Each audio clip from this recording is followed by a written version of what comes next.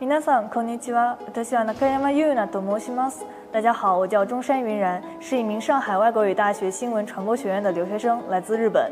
在我读小学的时候，因为父母工作的变动，曾在中国待过一段时间，基本上就是整个小学生涯。当时就对中国留下了深刻的印象，期待着某一天可以再回到中国。在选择大学的时候，我就申请了上海外国语大学，最终也如愿以偿来到了上海，来到松江。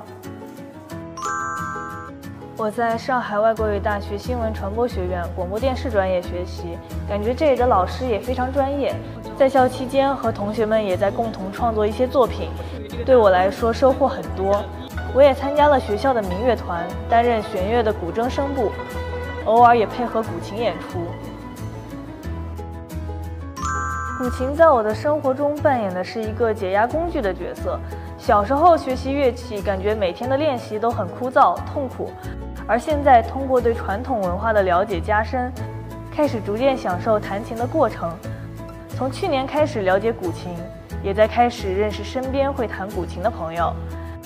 前几天正好撞见一位男生在学校练琴，我就非常兴奋，冲过去和他交流，邀请他下次一同演奏。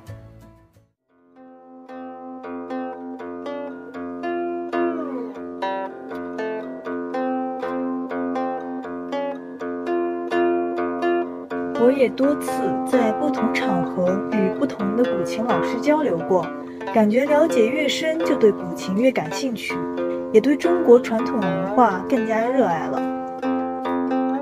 在我印象中，上海是一个国际化、现代化的大都市。